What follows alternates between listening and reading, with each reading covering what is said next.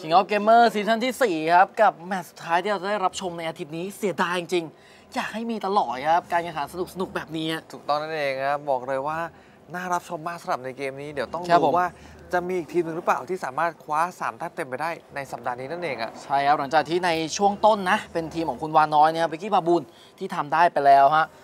แล้วก็ทางด้านของเนี่ยนะแคมคาเมล ครับผมชนะมาในแมตช์พิเศษ เดี๋ยวต้องดูตรงนี้จะได้รับโบนัส point ต่อเนื่องเลยหรือเปล่าหลังจากชนะ 2 เกมรวดฮะ Fantastic Camel ฮะของ Master มูหวานครับจะทำให้ทีมของ Master ซันเนี่ยเรียกได้ว่าไม่มีแต้มได้ไหม ต้องมารอลุ้นกันครับ Krizzis ฮะโดนแบนไปก่อนครับส่วนฝั่ง Red Team ครับแบน D'Arcy ฮะฟิสิกส์นี่บอกเลยว่า 2 แมตช์ติดๆแล้วนะครับผมกับการเล่น5-5นั่นเองแล้วแบน2 support เลยอะ และเป็น support ตัวใหม่ล่าสุดด้วยทั้ง 2 ตัว ใช่ครับ Krizzis แล้วก็ Zip นะครับ ถือว่าเปรียบเทียบเป็นเหมือนโรคร้ายแล้วกัน ไม่ควรปล่อยมาในการแข่งขันใช่นะครับ ผมชอบชื่อย่อของสองทีมมากนะ ฝั่งนี้แฟน FC FC ฝั่งนี้ Channel CH นะครับ เป็นแฟนคลับกับ Channel แต่จริงไม่ใช่ครับ เป็น Fantastic Camel แล้วก็ Sweet Cheetah ครับ ใช่ฮะแน่นอนว่าแบน Murad ครับผมแบน Murad นี่ respect ban มีอะไรในใจหรือเปล่า แต่ว่า pick มาตรงนี้ไม่ได้ด้อยไปกว่ากันเลยครับ Lindis กับ Florentino แลกกันได้คุ้มค่ากับราคาตรงนี้แถมได้ Baldum อีกต่างหากอะแต่การแบนแบบนี้เหมือนจงใจปล่อยพ่อหนุ่มร้อยบุปผา Florentino เหมือนกันครับ แล้วก็ตัด jungle ไป 2 ตัวดีอาซี่แล้วก็ Murad ได้ลินดิสกับบอลดัมลินดิสแทบจะไม่ถูกหยิบมาเล่นเลยใน King of Gamer ส่วนใหญ่โดนแบนครับผมเหมือนจะเป็นแมตช์แรกๆด้วยที่หยิบมาเล่นกันนะสองตัวครับในเฟสแรกของฝั่งบูทีมจะเป็นอะไรครับเซเนียลมาหรือเปล่า จะกลายเป็นคอมโบเซโนนะครับฟอเรนติเนียฟอเรนติเนียลผมอยากเล่นเซโนบ้างเซนะโนก็ได้เออสลับคลิกกันซี่นะเหมือนจะได้รับความนิยมมากครับๆกับการแข่งขันของเราใน King of Gamer นั่นเองฮะใช่ฮะโผล่มาแทบทุกเกมยังไม่เห็น ตัวเมทที่หนึ่งหรือว่าใช้skill play ค่อนข้างสูงอย่างร้านรวมถึง jungle อย่าง Nakroth ด้วย ใช่ครับ จะเห็นแค่ตอนที่ Master ในยดวลกันในสัปดาห์แรกครับ Krixi ฮะก็เป็น mage ที่มีอยู่มาตั้งแต่ซีซั่นหนึ่งเป็น mage ที่เล่นง่ายครับ แต่ว่าเต็มไปด้วย damage อันรุนแรง ใช่ครับ ไม้เบื่อไม้เมาจริง ๆ ครับครับ Lindis มักจะเจอกับ Kriknak อยู่แล้วซะส่วนใหญ่ Kriknak เป็นตัวตาม Lindis ได้ทัน และเป็นตัว burst damage ชุดเดียวด้วยอะครับผมต้องขอบคุณทางด้านของ FC นะครับ Fantastic Camel มากๆที่แบน Krizzis ทิ้งไปไม่งั้นถ้าเกิดมาเป็นกริกซี่กริกแนกแล้วก็กริกซิกเนี่ย ลาดีกว่านะครับลาไปก่อนต้องมีผู้ผิดกันบ้างนะสำหรับสามตัวนี้ที่ชื่อใกล้เคียงกันเหลือเกินครับ แล้วดันเกือบจะมาอยู่ทีมเดียวกันด้วยอืมทางด้านของ FC แบรนด์คลิกซิกเลือกคลิกซี่ครับผมและเลือกจังเกิลอย่างคลิกแนกครับผมพูดบ่อยๆนี้ไปเหมือนกัน สำแค่หรับตอนนี้สมองก็ไปหมดแล้วเลสทีมฮะลินดีแล้วก็เดี๋ยวชาญครับสมองเราไปเพราะว่าเราได้ดูเกมที่สนุกมากมายนะใช่ในครับสัปดาห์นี้ครับได้รับชมกันเต็มอิ่มถึง 4 เกมแถมมี 3 ต่ออืม3ที่บอกเลยว่าเราไม่เคยสัมผัสความสนุกในรูปแบบนี้มาก่อนครับเจอหนึ่งหนึ่งมาแล้วในสัปดาห์ที่สองสัปดาห์ที่สามเจอสามสามสัปดาห์หน้าถ้ามีหกหกอีก มันไม่มีคุณมันมันโมเผื่บาอยมีโมบายเผื่อมีอาวีฮะโอ้โห นี่น่าจะเป็นโมใหม่10 v 10อ่า10 v 10อันนี้เป็นไปได้นะคน่ารับจะเอาบรรดาของสาย A และสาย B อืมทีมในการดูแลของมาสเตอร์ของเราเนี่ยมาโดนกัน แต่อันนี่ไม่ได้ยืนยันนะ ถ้าเกิดใครอยากอันรู้นี้ครัเราบคิดเอง ต้องติดตามในสัปดาห์หน้าสัปดาห์ที่ 4 ห้ามพลาดครับกับรายการดีๆ แบบนี้ King of Gamer ซีซั่นที่4ฮะถูกต้อวงมถึง King of Gamer Club com นะครับเว็บที่จะรวบรวมข่าวสาร e-sport ฮะทั่วโลกเลยโดยเฉพาะรายการ King of Gamer ในไทยของเราที่จะอัปเดตกันตลอดเป็นวินาทีครับ ถูกต้องนะกด F5 รัวๆในข่าวนี้เด้งมาไม่พักอ่านไม่ทันเลย โอ้โหขนาดนั้นเลย จริงอะนะครับทางด้านของ Red Team ครับเลือกที่จะแบน Xeniel ครับไม่ให้เกิดคอมโบ Florentino อืมบวกกับ Xeniel เป็นฟอเรนติเนียลฟอร์เรนติเนียลตัดทางด้านของยีนาตรงนี้ทิ้งไปก่อนรวมถึง carry อย่าง Hayate ด้วยครับผมมีโอกาส pick เหมือนกันนะ แต่ว่าไม่เลือกที่จะ pick ตัดคิวก่อนอีกตัวหนึ่งดาร์เซเยอร์เลนถูกตัดเยอะพอสมควรเลย อย่างนี้จะเอาตัวไหนมาสู้นอกจากโอเมนฮะน่าจะเป็นคำแนะนำของทางด้านมัตเตอร์มูหวานด้วยนะครับแกก็เป็นอีกหนึ่งคนที่ถนัดในดัฟเซเลเยอร์เลนแนะนำให้ตัดดีน่าพิวกอดครับซึ่งเป็นท็อปเทียร์แต่ว่ายังเหลือโอเมนอยู่แล้วก็ริเตอร์ครับฮีโร่ที่หายหน้าหายตาไปนาน ผู้เล่นที่เล่นฮีโร่ตัวนี้เนี่ยต้องมีสกิลเพลย์ที่สูง แล้วถูกหยิบมาในทีมของสวิชิอาทางด้านของสวิชิต้าครับตอนนั้นเองครับ ถือว่าเป็นตัวเบิร์ดที่ดีสู้กับฟอร์เรนติโนได้ค่อนข้างฉับฉวยพอสมควรครับผมอย่าไปยืนตีสู้ธรรมดาเน้นที่จะชาร์จสกิลในพุ่มมากกว่า แล้วก็ใช้เวลาตรงเนี้ยเอาตัวรอดออกมาฮะตัวย่อของสวิชิต้าเนี่ยเป็น CH นะครับ ก็คือเป็นชีต้านั่นเองใช่เพราะฮะถ้าเกิดเป็น HH เนี่ย มันจะออกเสียงยาวไปนิดนึง มันจะเป็นออ H กับมัน H ชุบคล้ายๆกันเป็น CS นี่ละทางชาแนด้านลของสวิตสวิตชิต้าก็ถือเป็นเสือที่วิ่งได้อย่างรวดเร็วนะครับสำหรับสวิตชิต้า เขาบอกว่าชื่อเนี่ยเป็นชิต้าหวานนะ แต่อืมบอกเลยว่าไม่หวานเหมือนชื่อแน่นอดูนจากคโลรับโก้แล้วไม่น่าหวานนะครับผมเหมือนแกจะมีป้ายเลือดมาด้วยแกป้ายเลือดมาด้วย ไม่แน่ว่าไอ้รสหวานเนี่ยอาจจะเป็นรสชาติเลือดของศัตรูก็ได้ครับ ส่วน Fantastic Camel ฮะ fantastic สมชื่อมากๆครับอืม3 v 3เนี่ยแกเอาชนะภายในระยะเวลาอันรวดเร็วเร็วจริงๆครับถูกต้องครับหมุนเมื่อกี้เป็นฟินิกซ์แต่ว่ากลับมาเป็น Tel'Annas อีกครั้งหนึ่งแน่นอนว่า Tel'Annas ตอนนี้กลับมาฮิตแล้วด้วยโอ้โห Tel'Annas ครับก็เป็นอีกหนึ่ง ฮีโร่ carry สามารถสู้ได้กับ carry ทุกตัวในเรื่องของระยะนะ แล้วก็หยิบ Thane มาเป็นตัวค้ำหน้าอีกหนึ่งคนฮะฟอร์มตรงนี้แผนตรงนี้ดูดีพอสมควรสำหรับ Fantastic Camel ของ Master มูหวาน ที่แกทำการบ้านดีมาก ๆ นะ ใช่ครับและเอาใจใส่ลูกทีมตลอดเลยด้วยครับ ไม่เล่น carry lane เล่นเป็น carry jungle อย่างลินดิสสลับในเกมนี้ครับผมสอง fighter ในเลนข้างครับริกเตอร์ และตัวอย่างซูก้าเป็นแทงจ่าอยู่แล้วด้วย burst damage ค่อนข้างรุนแรงโอ้โหชุดเดียวหายเลยแล้วริกเตอร์เอาฮิวมาพอดี สุดยอดครับจริงๆ ถ้าเกิดสลับทีมกันเนี่ยผมเชื่อมากกว่านะ เพราะว่าทางด้านของริกเตอร์แล้วก็ซูก้าเป็น signatureของ Master มูหวานด้วยใช่แต่วันนี้มาอยู่ในทีมของ Sweet Cheetah ทีมของ Master ซันจะทำได้ดีแค่ไหนครับเกมนี้ต้องรอมาลุ้นกันเลยฮะฮายาเตะครับตัวนี้มีเกร็ดน่าสนใจนะ หยิบมาประมาณ 2 สัปดาห์แล้วยังศูนย์เปอร์เซ็นต์ชนะอยู่นะครับเล่น 3 เกมเล่น 3 เกม แพ้ 3 เกมเลย แพ้ 3 เกมแต่เกมนี้ไม่มีโอกาสได้เห็นครับ เพราะ ban ไปก่อนก็ที่จะไม่เสี่ยงแหละ ถ้าเกิดปล่อยตัวของฮายาเตะให้อีกเนี่ยรับรองว่าน่ากลัว ในการที่จะกระโดดเข้ามาจัดการกับลินดิสแน่นอนครับใช่ครับทั้ง 2 ทีมรู้ว่าน่าจะเป็นพลิกอาถรรพ์พอสมควรครับยังปลดแอกตรงนี้ไม่ได้สักทีอะใช่ฮะปลดเจ็บนะปลดเจ็บปลดแอกนะครับ จริงๆ เป็นปลดแอกปลดเป็นปลดแอกนั่นเองก็คือการทำให้ฮีโร่ตัวนี้เนี่ยหลุดจากอาถรรพ์ถูกนะครับต้องฮะหลุดจากวังวนวนเวียนตรงนั้นสักทีอะครับผมแต่ว่ามาดูเกมนี้กันก่อนนะครับ FC คนแรกของเราคิกแนกนะเป็นมิกนั่นเองครับคนที่ 2 วินครับเป็นคิกซี่ครับไอซ์เกมนี้เทวนานะเชียร์ ครับ เกมนี้เป็นหน้าของเทรนนั่นเอง แล้วก็ยูฟ่าครับพอดีเลยนะฟอร์เรนติโน่อะเชียร์ยูฟ่าเชียร์ยูฟ่าอะตอนนี้ส่วนทางด้านของคืนนี้มีด้วย ใช่ครับทางด้านของสวิชิต้านะครับทางด้านของมินครับเจมส์น้ำแล้วก็ทางด้านของยูฟ่าเหมือนกันครับที่เลือกตัวกันมาครับเป็นทางด้านของริกเตอร์เตลเซนลินดิสบาลดัมครับแล้วก็ซูก้าคนสุดท้ายเป็นเจมส์ครับใช่ครับฮีโร่ถือว่าคอมโบในฝันพอสมควรนะมีตัวโซนให้ไม่ว่าจะเป็นทางด้านของไดมอนดัสรวมถึงตัวอย่างริกเตอร์เนี่ยเข้ามารอจังหวะ ดูจากฮีโร่แล้วถ้าความเซตง่ายกว่ากันเนี่ย ผมว่ามีพอๆกันทั้งคู่นะ ใช่ครับ จริงๆทางด้าฝั่งเรดทีมเนี่ยเล่นต้นเกมได้ดีนะ แต่ฝั่ง Blue Team ก็เป็น ทีมที่จัดมาเพื่อช่วงชิงต้นเกมเหมือนกันครับ ต้องวัดกันในช่วงต้นนี่แหละ มีโอกาสจะ snowball แล้วจบไปได้ด้วยครับใช่ฮะริกเตอร์เหมือนจะเป็นตัวที่เน้นเข้ามาคุมเลนกลางมากกว่า แล้วตัวอย่างโบ๊ทที่เป็นทางด้านของเดี่ยวชานค่ายากเหมือนกัน เพราะว่ามีไอซ์ควีนมาเป็น passive ที่ดีเลยตัวที่กลับมาใน meta นี้อีกครั้งหนึ่งอะครับผมแล้วฟลอเรนติโนตัวนี้เป็นฟลอเรนติโนตัวแรกในการแข่งขัน5 v 5ของเราด้วยใช่ในฮะสัปดาห์ที่ 2 และ 3 ครับเช่นเดียวกับทางด้าน combo อย่างเตลเซนแล้วก็บอลดัมที่เคยเห็นมาแล้ว แถม combo นี้เอาชนะไปได้ด้วยครับเทรนริกเตอร์เหมือนกันนะ ก็แน่นอนว่าตัวเองเนี่ยเก่งในระยะตรงนี้อยู่แล้วฮะครับ เข้ามา burst ชุดเดียวตัวอย่างไอเองต้องเจ็บเหมือนกันนะเอาตัวของบอลดัมยูฟ่ามาแล้วฮะส่วนใหญ่ถ้าเกิดเลือกเป็นริกเตอร์มาเนี่ยมักจะเอามาใช้งัด carry นะครับแล้วก็มักจะไปงัดที่เลนกลางด้วย แต่เกมนี้ริกเตอร์เลือกที่จะไม่ไปครับทางด้านของมินนะใช่ครับผมว่าเชียร์ในเกมนี้ตัวอย่างเทรนเองต้องช่วยเลนกลางค่อนข้างที่จะส่วนใหญ่เลยครับเพราะบอลดัมเนี่ยสามารถทิ้งและเดินเกมได้แบบสบายๆสำหรับในเกมนี้อะ เทรนน่าจะต้องเดินหนักกว่านะครับ เป็นระยะทางที่ไกลกว่า แต่ขึ้นมาเป็น water gem ครับ ก็น่าจะมาเร่งเทวนาสให้เกิดเร็วกว่ากำหนด แล้วก็มี damage ที่พอหวังพึ่งได้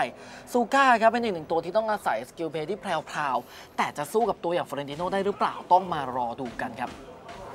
จะงัดตรงนี้ฮะแน่นอนว่ายูฟ่าเองต้องระวังตัวอยู่แล้วด้วยครับเพราะว่า map ค่อนข้างที่จะมืดเลยสำหรับตอนนี้ฮะครับผมเห็นอีกทีนี้มาโผล่ในพุ่มใกล้ๆ3 4 ตัวเลยฮะเค้กแนกฮะมิกฮะรอจังหวะตรงนี้ พิสแกสเช็คมาเห็นระยะตรงนี้แล้ว แล้วดูเทนผลัก 3 ตัว เอาลอนฟูรี่มาแล้วมีเชฟไดฟ์มาจังหวะนี้ไดมอนด์นัทแช่มาได้2กลายเป็นเชียร์ที่เจ็บมากกว่า จะสวนมาจังหวะนี้ยูป้าระยะตรงนี้มีฮึ่มสโลว์มาอยู่ แต่ด้วยความอึดตรงนี้เทรนยังเอาตัวรอดออกมาได้อะแกมาโดนลินดิสตอร์ดก่อนครับแล้วกลายเป็นเชียร์ที่เอาตัวรอดออกไปได้จริงๆแกมีพัสซีฟอยู่นะในเรื่องของการเด้งเลือดฮะ ทำให้ไม่ตายง่ายๆในช่วงต้น แต่เมื่อสักครู่เกือบจะไปเหมือนกันศึกระหว่างยูฟ่าเจอยูฟ่าครับยูฟ่าคนหนึ่งเนี่ยเป็น support แล้วก็ยูฟ่าอีกคนหนึ่งเป็น Dark Slayer lane ครับชื่อนี่บอกเลยว่าเหมือนจะมีมาตั้งแต่ match วันแรกๆเลยด้วยนะอืมสำหรับชื่อนี้ครับตัวของยูฟ่าฮะครับผมลินดิสครับตามมาเก็บบูบัฟตรงนี้ก่อนนะฮะกลายเป็นว่าช่วงต้นเกมเนี่ยหลาย ๆ ทีมเนี่ยระมัดระวังตัวกันพอสมควรนะ แน่นอนว่ามันเดิมพันในเรื่องของคะแนนด้วย คะแนนหนึ่งคะแนนตรงนี้อาจเปลี่ยนชีวิตของคุณไปตลอดกาลใช่ครับฮะ จากจะได้ 3 เหลือ 1 ไม่ค่อยคุ้มเท่าไหร่สำหรับในวันนี้ สัปดาห์นี้ต้องตุนคะแนนก่อนสำหรับสถานะของบรรดา Master เพราะว่าผ่านมาค่อนข้างที่จะสัปดาห์ที่ 3 แล้วอะมาได้ไกลแล้วนะซูก้าแล้วก็ริกเตอร์เป็น 2 ตัวละครที่สามารถสร้างเซอร์ไพรส์ได้เยอะด้วยนะครับ ยังไงก็ต้องรอดูกันว่าเกมนี้จะทำได้ดีหรือเปล่า เพราะมันมีความเสี่ยงเหมือนกันนะ high risk high return สำหรับชุดฮีโร่แบบนี้ครับใช่ตัวครับค้ำมีแค่ตัวเดียวคือบอลดัมด้วยครับ กลับมา battle net อีกครั้งนะสำหรับใน match นี้นะ มีปัญหาก็แก้อย่างรวดเร็วแน่นอนว่าทีมงานของเรานี่ใส่ใจกับเกมคุณภาพแบบนี้อะครับผมแอปเปิลดากอนครทัสครับถูกเปิดขึ้นมาตรงนี้ฮะเป็นฝั่งของสวิชิต้าที่พยายามจะเก็บความได้เปรียบไปก่อนครับเคลียร์คลิปเลนกลางได้ไวนะ ก็เลยเลือกที่จะมาโซนตรงนี้แต่ดูเหมือนดาเมจจะไม่เพียงพอเพราะลินทิสเลือกที่จะทิ้งไปแล้วครับปล่อยเซอร์เลยฮะโอ้แกขึ้นไปเอาบัฟก่อนไม่รู้ว่าเป็นการตัดสินใจที่ถูกต้องหรือเปล่าครับ ยูฟ่าแกรอดักเจมส์อยู่ตรงนี้ฮะไม่มีใครรู้ครับมีแต่เราและท่านผู้ชมที่เห็นแมปครับพุ่งมาตรงนี้แน่นอนซูก้าเป็นตัวเอาตัวรอดได้ค่อนข้างดีอยู่แล้ว การกิ้งมาจากโรนิ่งสกิลสองของเขาเนี่ยแน่นอนได้เกาะด้วยฮะการขึ้นมาของตัวลินดิสตรงนี้ดูเหมือนจะดูดีนะ เพราะว่าสามารถไล่กดดัน 2 ตัวที่ขึ้นมาแกงได้ด้วยครับ น้ำนั่นเองครับ สบายสบายๆฮะเอาตัวรอดถือว่าเกมนี้ ทั้ง 2 ทีมสูสีมากๆนะ กับครับเกมผ่านๆมาที่เราได้เห็นกัน สกอร์เนี่ย แทบจะไม่มีความแตกต่างกันอะไรเลยเดี๋ยวต้องดูจังหวะพีคกันบ้างครับว่าใครจะออกน้ำได้ดีก่อนมินตรงนี้เอาลอดฟูรี่มาโดนรีเทเลตเข้ามายังบล็อกในเรื่องของดาเมจ ตัวอย่างเทวนาได้อยู่ถึงหลายครั้งด้วยกันนะ เชียร์ดักได้ดีนะ แกเลือกที่จะไปดักในพุ่มแล้วทำให้จังเกิลสไตล์ไม่สามารถเก็บสแต็กได้ ส่วนทางด้านบนเจนโดนหนักหนามากครับ ฝั่งของสวิชิต้ายกพวกมาแก๊งที่เลยนะถึง 4 คนเคลียร์คลิปตรงนี้ก่อนครับ มีโอกาสจะเล่นได้ทั้งคนทั้งมังกรเลือกเปิดมังกรหรือเปล่า แต่ว่าน้ำไม่สนใจอีกแล้วว่าทำได้แค่ดึงมังกรไปก่อน ในขณะที่เลนบนเนี่ยซูก้าดูเหมือนจะลำบากในการเจอกับยูฟ่าตรงนี้ครับต้องพยายามเคลียร์เวฟนี้ก่อนนะครับ แล้วก็ต้องรีคอร์กลับไปเติมเลือดเติมอะไรกันก่อน ถ้าเลือกที่จะฟาร์มจริงๆ ตัวคิงเน็กฟาร์มไม่เท่า ฟาร์มไม่ทันตัวดินดินนะใช่คฟารัร์บมได้เร็วกว่าเยอะเลยครับ จริงๆแล้วคิงเน็กของมิกเองน่าจะต้องเลือก โซนปะทะหรือว่าชวนทะเลาะให้บ่อยที่สุดนั่นเองอะแล้วดูตรงนี้เชียร์อยู่ในตำแหน่งที่ดักสตันสามตัวได้สวยงามครับตัวคิงเน็กถมมานี้มาได้สวย ยิงมาทุกอย่างสองทุกคสรับกิลแต่ว่าชุดนี้ยังไม่ตายมูลฟอร์ที่โซนมาจากด้านหลังและแอโรออฟเคลอสยัดไปตรงนี้ที่มินเต็มๆรีเทเดตจังหวะสุดท้ายยังได้อยู่ฟิกเกอร์แล้วไหวฟิกเกอร์จังหวะนี้ครับรวมถึงฟอร์เวิร์ดชาร์จเข้ามาแล้วนี้เกือบทำได้ดีแล้ว ตัวอย่างดิกเตอร์ยังเอาตัวรอดไปได้อยู่ยูฟ่าก็เกือบตายเหมือนกันนะเด่นในเรื่องการเอาตัวรอดครับมินเมื่อสักครู่แกเข้าผิดจังหวะไปประมาณวินาทีเดียว ไม่งั้นน่าจะงัดได้ 2 ตัวที่เบลดัมแกเก็บไว้ในดินครับแล้วผลจากการตัดสินใจครั้งนี้ทำให้เสียไปซอตกอนคริตัสไปเลย ยังดีที่ลิกเตอร์สามารถออกไปได้นะ เข้าผิดจังหวะแล้วฮะ แล้วจะเสียทาวเวอร์หรือเปล่า มีโบ๊ทตามเข้ามารับแบบฝืนๆเล็กน้อย แต่ยังสามารถกันได้ครับยังไม่มีสกอร์ลินิดขึ้นมาเล่นเลเกี่ยยวครับแล้วคิกแนกเข้ามาซ้อนจากทางด้านของมิกแล้วจังหวะนี้ครับ กลายเป็นมิกเหมือนจะเจ็บเหมือนกันลินิดก็เลยจะตายแต่ว่าโอ้หโหลบมิดเชฟมา ไม่รู้ว่าติดดิปเปิลเบสซิ่งจังหวะสุดท้ายหรือเปล่าวะแกติดไปก่อนหน้านี้ครับ แต่ว่าปีกของมิดเชฟมันเฉียดน้ำไปนิดเดียวครับ เป็นจังหวะลัคกี้ช็อตเล็ก ๆ เหมือนกัน ตายยากครับ ฝั่งของสวิชิต้าไม่รู้ว่าห้อยพระอะไรครับ อยู่ในพุ่งที่อยู่ใกล้ๆตรงนั้นระยะพอดีด้วย ไม่งั้นเนี่ยอาจจะเอาตัวรอดออกไปไม่ได้เหมือนกันนะ ยังไม่มีสกอร์นะสำหรับ 2 ทีมนี้ที่เจอกันนั่นเองอะมาสเตอร์หมูหวานและมาสเตอร์สันนะเพราะตรงลินดิสเนี่ยเวลาที่แกเข้าพุ่มนะจะสามารถเพิ่มความเร็วในการเคลื่อนที่ได้ชั่วพริบตาหนึ่งครับหลบตรงนั้นไปได้ฮะในเลนนิ่งเฟสตอนนี้ฝั่งของสวิชิต้าที่เอาตัวรอดมาได้หลายต่อหลายครั้งดูเหมือนจะไม่ดีเลยครับไอก็เริ่มเก็บความแรงขึ้นมาเรื่อยๆแล้วฮะ นักธนูน้ำแข็งคนนี้ครับรอแค่เวลาที่จะเฉิดฉายเท่านั้นเนี่ยตรงกลางฮะเอาเข้าใหญ่จังหวะนี้ครับดิดดิดเริ่มออกมาแผงฤทธิ์ตรงนี้เหมือนกันนะพอเวฟแรกเหมือนจะออกมาทำเกมไม่ได้แกก็เลือกที่จะฟาร์มอย่างเดียวเอาแล้วงัดฟาร์มได้ครับได้ค่อนข้างดีด้วยงานมาจังหวะ2จังเกิลสไตล์ตรงนี้เหมือนจะงานไม่ติดนะครูดาวที่หายไปแบบนี้ แล้วด้านหลังเข้ามาแช่อีกทีนึงอาทางด้านของโบสฮะเชียร์ยังร้อนหลบได้สวยอะแน่นอนว่าเชียร์เกมนี้เปิดจังหวะได้ดีมากๆอะจังหวะเปิดสวิชิต้าเหมือนไม่ได้รอเพื่อนเท่าไหร่เลยท่านของมินต้องลดความใจร้อนหน่อยนะ จริง ๆ มีหลาย ๆ จังหวะที่พอจะทำได้ แต่เพื่อนตามมาไม่ทันครับ ก็มี 2 เหตุผลเลยครับ ไม่เพื่อนตามมาไม่ทันก็เป็นเขาที่เปิดเร็วไปถูกต้องครับพร้อมมากครับจังหวะนี้เชียร์เข้ามาอยู่แล้วดูไดมอนด์ดัส ข็งเอามาใช่คมีรับศาสตร์หุบมาอีกทีนึงกลายเป็นเชียร์ที่ยังค้ำอยู่ในหน้าได้ดีแต่ว่าด้วยพาสซีฟตอนนี้เลือดที่มันเด้งขึ้นมากลายเป็นคิงแนกของมิกที่เจ็บมากกว่ากำลังจะตายแต่ว่าเทรดมาตรงนี้เก็บอยู่ป้าไปได้ยังไม่ตายจังหวะสุดท้ายโบทตรงนี้เหมือนจะเลือดเกินไปในการเข้ามาทำแบบนี้ซ้อนสวนจังหวะที่ดีจริงๆครับสำหรับทางด้าน FC ของเราอะใจร้อนเกินไปครับแถมจังหวะวายพิซันเมื่อสักครู่เนี่ยไปขัดสกิลบิสาดด้วยครับน่าเสียดายครับคอมโบทำได้ดีแล้ว แล้วกลายว่าพอพยายามจะแก้ไขตรงนั้นเนี่ยมันกลับกลายทีมตัวเองเนี่ยส่งผลเสียเพิ่มเติมครับ ตอนนี้ทางหน้านของแฟนตาติกของเราครับกำลังสร้างความได้เปรียบมาคาเมลฮะไปหิวเทวนาทด้วยครับ พยายามที่จะเบิร์นให้ตาย ระยะการเข้าไปไดแบบนี้ ถ้าทำไม่ชัวร์กลับมากับการการเสียหายตรงนี้ค่อนข้างที่จะสูงเกินไปอะจริง ๆ แช่กริงแนกได้สวยแล้วครับบิสาดตรงนั้นเกือบจะปิดดาเมจได้แล้ว แต่ว่าโดนหุบไปก็เลยไม่สามารถปิดได้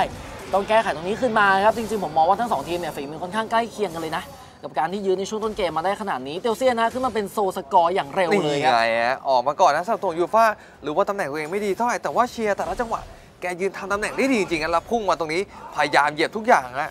เราจะเห็นการไถ่ที่ได้เปรียบจากเทเลหลายๆครั้งครับไม่อยากจะคิดว่าถ้าเกิดเขาได้จับฮีโร่อย่างบอลดัมที่ทำจังหวะได้ง่ายกว่านี้เนี่ยจะสร้างจังหวะให้ทีมได้มากแค่ไหนเทวนาสครับหลังจากที่ยิงทาวเวอร์ในเลนล่างได้แล้วสวิตช์ขึ้นมาที่เลนบนกะจะเอาอีกหนึ่งทาวเวอร์ครับ